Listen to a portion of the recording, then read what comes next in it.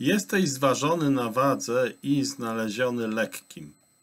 Księga Daniela, 5 rozdział, 27 werset. Wielu ludzi wychodzi z założenia, że kiedyś w dalekiej przyszłości nastanie dzień, w którym Bóg rozliczy ludzi za wszelkie dobro i zło.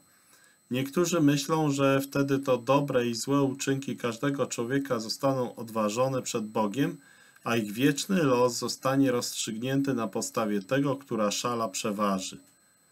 Biblia, Słowo Boże, inaczej wyraża się na ten temat.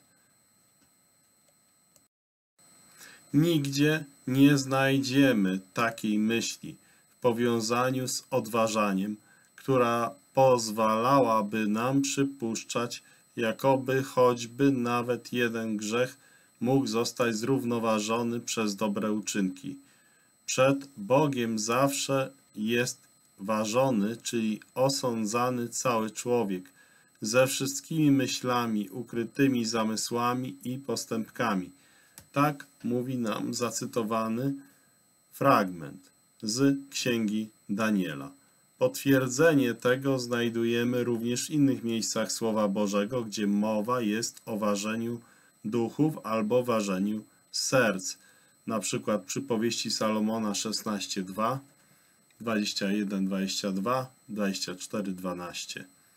Gdy Bóg nas waży, to na jednej z szal leżą Jego święte i sprawiedliwe roszczenia, którym żaden z nas jako upadłych w grzech ludzi nie jest w stanie sprostać, na drugiej zaś my sami. Wynik tego może być tylko jeden. Każdy człowiek musiałby zostać znaleziony przed nim lekkim. Nie. W owym dniu rozrachunku, który zresztą wcale nie jest taki odległy, jak się to niektórym wydaje, liczy się tylko jedno – przebłagalna ofiara Jezusa Chrystusa. To tylko przez wiarę w Syna Bożego, przez wiarę w Pana Jezusa Chrystusa i Jego dzieło odkupienia człowiek może otrzymać przebaczenie grzechów i życie wieczne, o czym mówi nam na przykład list do Rzymian, trzeci rozdział, 20 werset do 25 i Ewangelia Jana 3,36. Wówczas to cały dług przed Bogiem zostaje raz na zawsze umorzony, wszelka wina wymazana, o czym mówi nam Izajasza na przykład 1,18. Wszyscy odkupieni mogą śpiewać Chrystusowi pieśni chwały z głębi przepełnionego wdzięcznością i radością serca.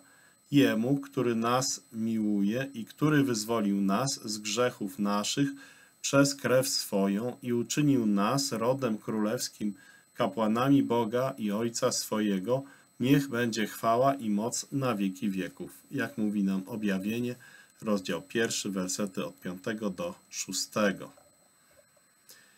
Jesteś zważony na wadze i znaleziony lekkim. Księga Daniela 5:27.